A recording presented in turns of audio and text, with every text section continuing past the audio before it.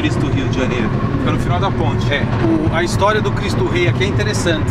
É. Na- há muitos anos atrás, os bispos daqui da cidade de Lisboa É. foram no- no- na inauguração do Cristo Redentor do Rio de Janeiro. É. Nessa inauguração eh, estava iminente haver uma grande. eh, uma guerra. O poder estava para cair aqui, né? Estava havendo uma revolução muito grande em Portugal. É. Na era eh, Salazar.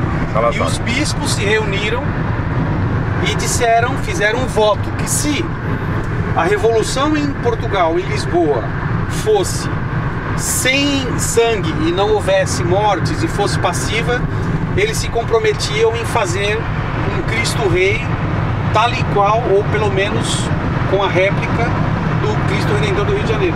Que interessante. É. E como, como houve a revolução, o poder do Salazar caiu e se tornou então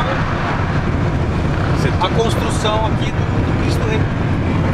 Praticamente uma réplica É. do Cristo Rio de Janeiro. Aqui onde nós estamos agora já é o Almada, que é um bairro.